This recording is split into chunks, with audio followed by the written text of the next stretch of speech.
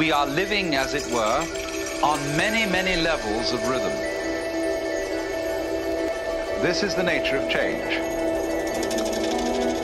If you resist it, you have frustration and suffering. But on the other hand, if you understand change, you don't cling to it, and you let it flow,